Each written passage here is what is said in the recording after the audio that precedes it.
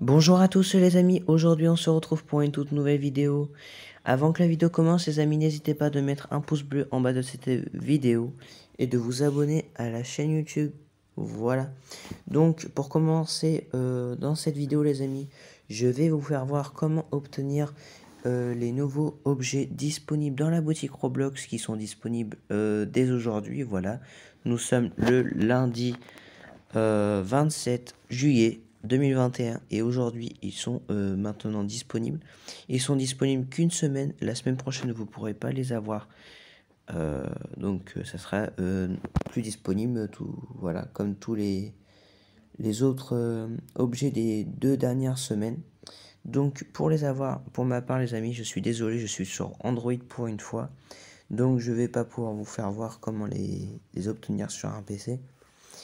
Donc vous avez en fait au départ, vous allez avoir le prix euh, plus de 1000 Robux. Vous le mettez le compteur à zéro.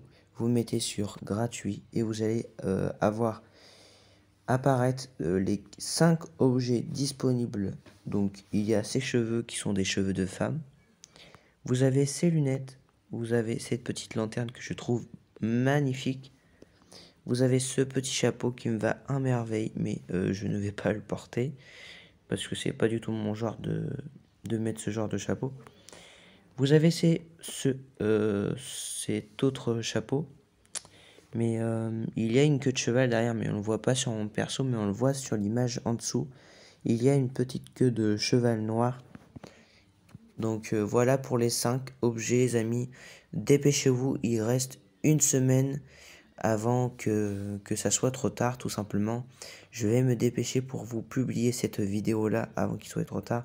Donc c'était Davy euh, et nous on se retrouve pour une prochaine vidéo. Bye